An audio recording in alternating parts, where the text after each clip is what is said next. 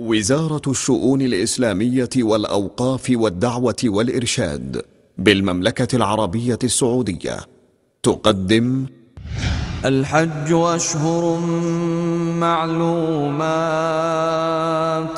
فمن فرض فيهن الحج فلا رفث ولا فسوق ولا جدال في الحج. وما تفعلوا من خير يعلمه الله. وتزودوا فإن خير الزاد التقوى. واتقون يا الألباب.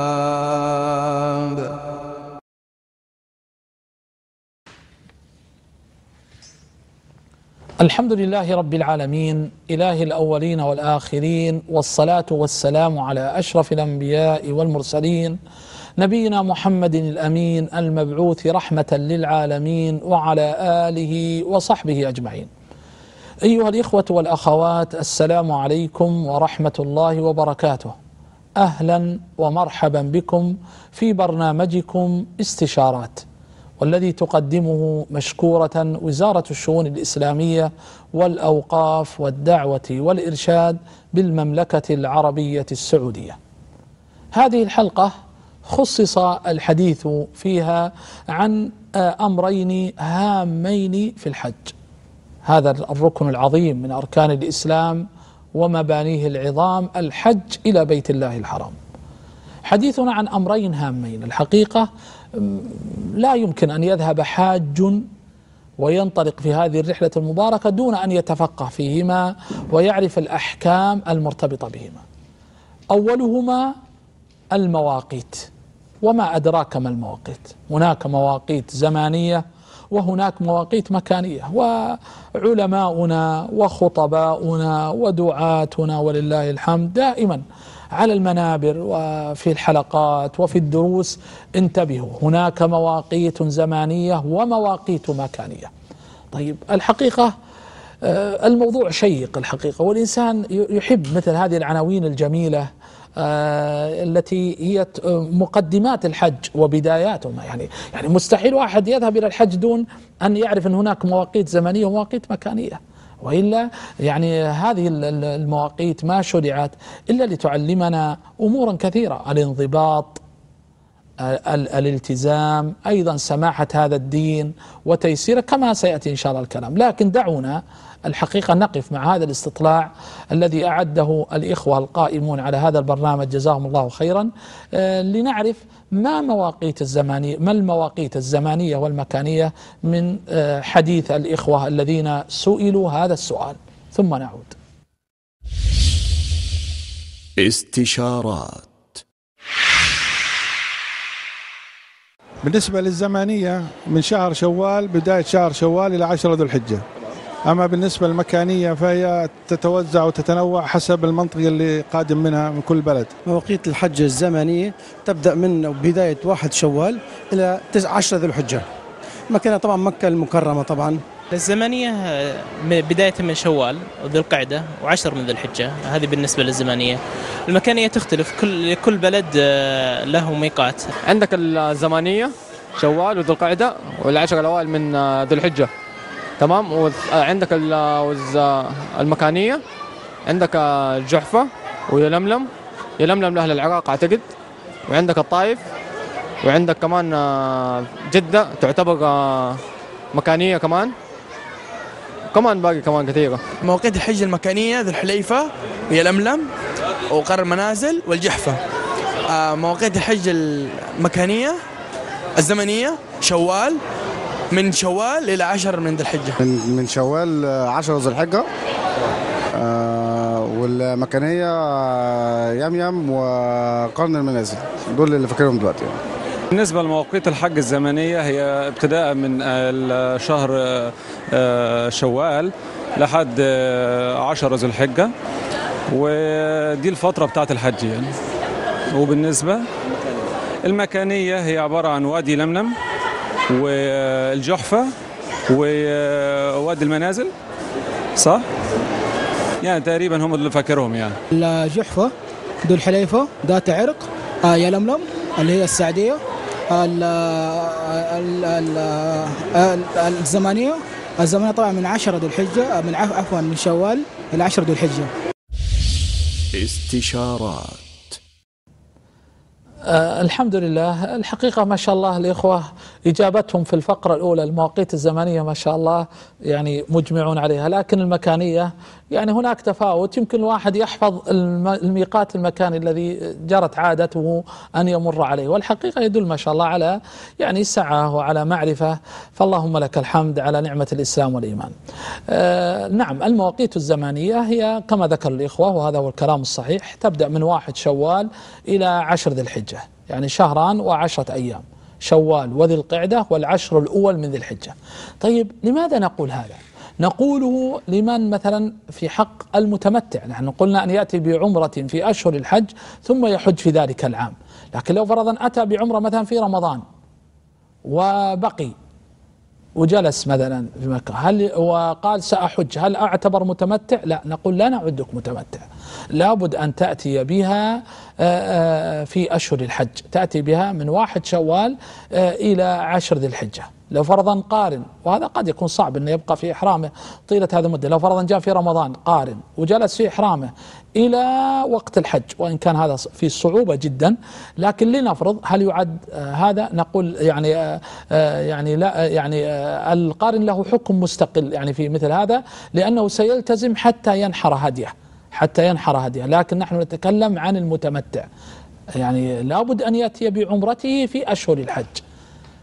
في شوال في ذي القعدة في العشر الأول من ذي الحجة ثم بعد ذلك يحرم بالحج. هذه هي الأشهر الزمانية أما أو, أو المواقيت الزمانية الله جل وعلا قال الحج أشهر معلومات. فمن فرض فيهن الحج فلا رفث ولا فسوق ولا جدال في الحج. هناك مواقيت مكانية. في حديث ابن عباس رضي الله عنهما أن النبي صلى الله عليه وسلم آه، وقت لأهل نجد قرن المنازل. وهو ما يسمى الآن بالسيل الكبير. وفي الأعلى منه يسمى وادي محرم. لأهل نجد قرن المنازل ويسمى الآن السيل الكبير. ووقت لأهل المدينة ذا الحليفة. وقت لأهل المدينة ذا الحليفة ويسمى الآن أبيار علي. ولكن التسمية الصحيحة هي ذا الحليفة. أما قول إن علي رضي الله عنه قاتل الجن عند تلك الأبيار هذا كلام غير صحيح وهو من الخرافات التي يتداولها بعض الناس. والصحيح هو الاسم هو يعني ذا الحليفة. ووقت عليه الصلاة والسلام لأهل الشام الجحفة. وقت عليه الصلاة والسلام لأهل الشام الجحفة. ووقت عليه الصلاة والسلام لأهل اليمن يلملم وتسمى الآن كما قال أحدهم قبل قليل السعدية.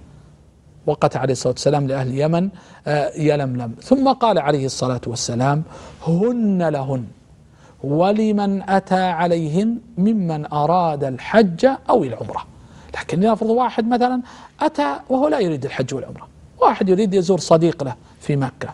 أو واحد عنده معاملة معينة بيروح يراجعها في مكة. أو واحد كذا قال أنا بروح أصلي في الحرم. هل يجب علي أن أحرم؟ هل يجب علي أن ألبس الإحرام. وإلى آخره؟ نقول لا أبدا. النبي صلى الله عليه وسلم قال هن لهن ولمن أتى عليهن ولو من غير أهلهن كما جاء في بعض الروايات ولو من غير أهلهن ممن أراد الحج أو العمرة يعني نفرض شخص مثلا من أهل الرياض ذهب إلى المدينة زيارة المسجد النبوي أو عنده عمل هناك وأراد العمرة. هل نقول ارجع إلى قرن المنازل السيل الكبير وأحرم؟ لا نقول خلاص أحرم من ميقات المدينة وأذهب. ومثل لو أن واحد مثلا من أهل المدينة ذهب إلى جنوب إلى جازان أو إلى نجران مثلا أو إلى اليمن وقضى له عمل وأراد أن يأخذ عمرة. هل نقول اذهب ارجع إلى ميقات المدينة وأحرم منه ثم تعال لا هذا فيه مشقة وفيه كلفة بل نقول أحرم من يلملم.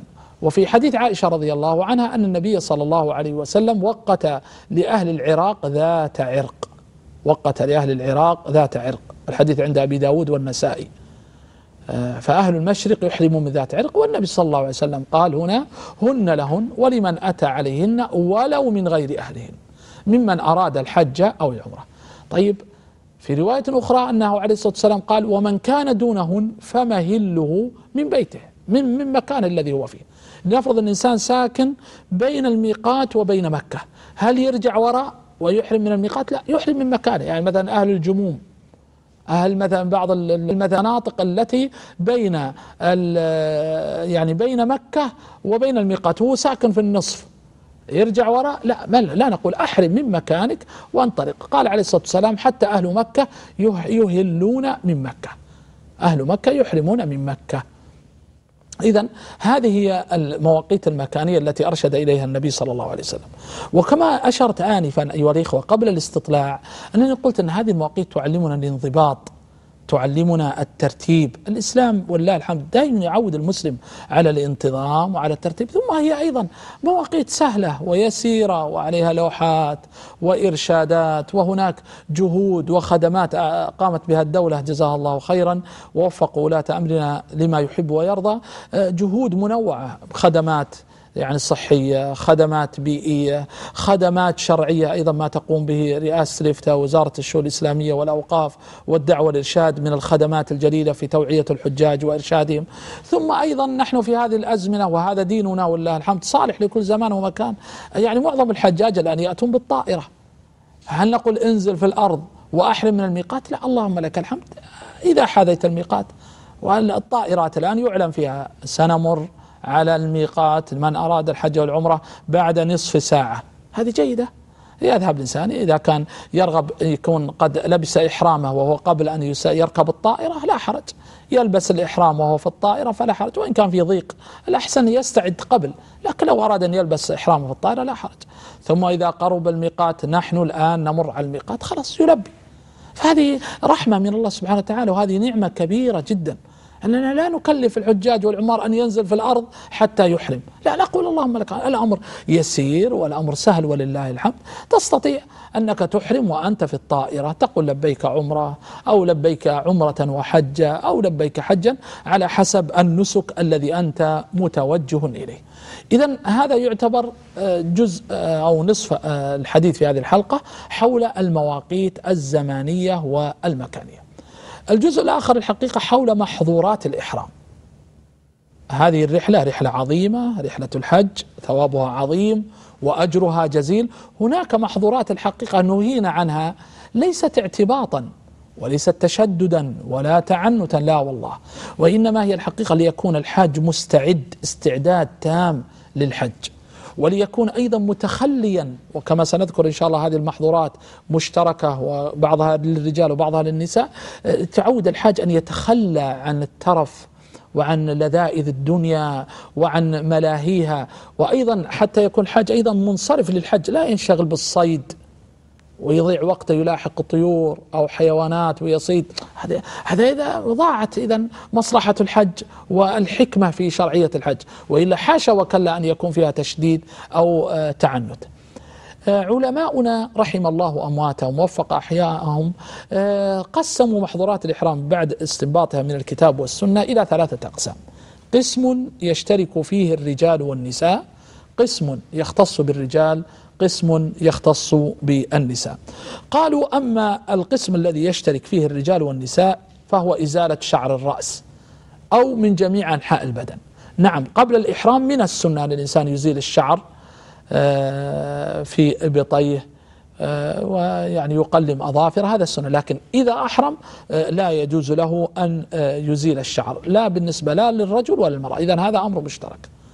المحظور الثاني تقليم الأظافر. لا يجوز أيضا لا للرجل ولا للمرأة أن يقلم أظافره بعد الدخول في النسك. أما قبل الدخول في النسك فنحن نقول نعم إنه سنة وهذا أمر طيب وعمل صالح والتزام بسنة النبي صلى الله عليه وسلم. آه الشرط الثالث أو قصد المحظور الثالث استعمال الطيب سواء في البدن أو في الإحرام. للرجل والمرأة أيضا لا يجوز استعمال الطيب. لا في الإحرام ولا في البدن الأمر الرابع الجماع ودواعيه كعقد النكاح والخطبة لا ينكح المحرم ولا ينكح ولا يخطب كل هذا الجماع كل هذه كما نلحظ يا إخوان كل عشان إنسان يكون متفرغ مستعد متوجه لهذه الرحلة المباركة. المحظور الخامس أيضا قتل الصيد. ما في شك الإنسان لو لو فرض أن رجل أو امرأة حاج ومعه بندقيته ويتابع الصيد. كما جاء في الحديث ومن تبع الصيد غفل. سيغفل ولا شك ويكون قلبه متعلق ويضيع وقته وهو الآن هو الآن متوجه لها الرحلة المباركة رحلة الحج. فكيف يشغل نفسه بالصيد؟ أيضا الأمر السادس لبس القفازين للرجال والنساء. لا يجوز أيضا. لا يجوز لبس القفازين بالنسبة للرجال والنساء. إذا هذه سبعة محظورات آه، ستة محظورات مشتركة. نعيدها. إزالة الشعر من الرأس أو من جميع أجزاء البدن. تقليم الأظافر. استعمال الطيب.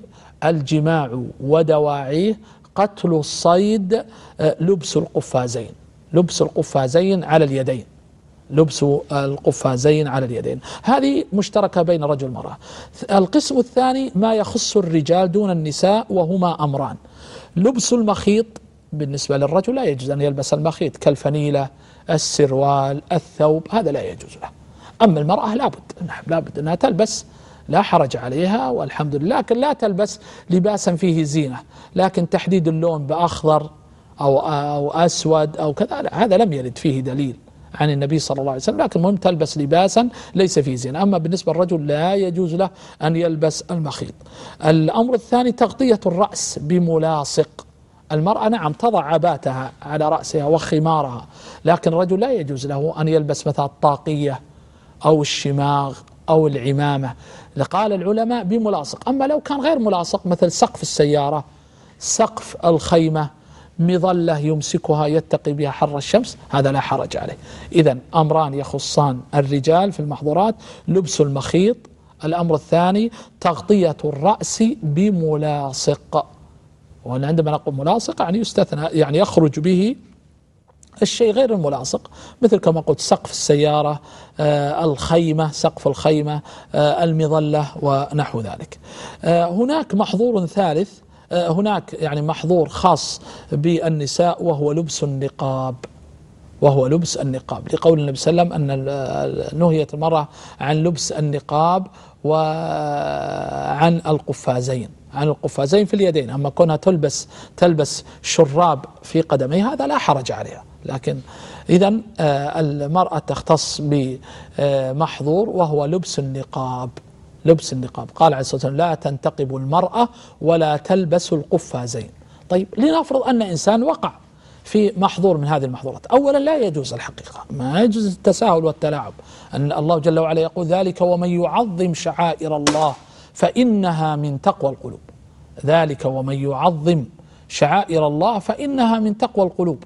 ومن تقواه جل وعلا أن نلتزم بشرعه. لكن لنفرض أن الإنسان وقع ضرورة أو ما علم أو يعني المهم. فإنه يخير بين ثلاثة أمور. إما أن يذبح كبشا ويوزع على فقراء الحرم أو أن يصوم ثلاثة أيام أو أن يطعم ستة مساكين من فقراء الحرم. لقول الله عز وجل ففدية من صيام أو صدقة أو نسك.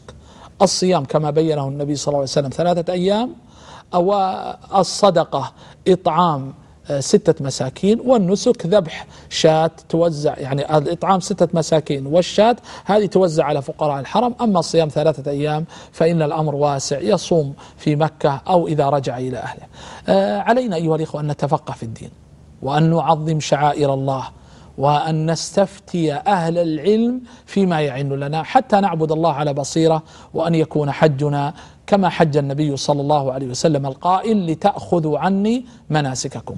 اللهم اجعل حجنا مبرورا وسعينا مشكورا وذنبنا مغفورا وعملنا صالحا متقبلا مبرورا. هذا والله أعلم. وصلى اللهم وسلم وبارك على نبينا محمد وعلى آله وصحبه أجمعين. وإلى الملتقى بكم في حلقة قادمة إن شاء الله تعالى. والسلام عليكم ورحمة الله وبركاته. الحج أشهر معلومات فمن فرض فيهن الحج فلا رفث ولا فسوق ولا جدال في الحج. وما تفعلوا من خير يعلمه الله وتزودوا فإن إن خير الزاد التقوى. واتقون يا أولي الألباب.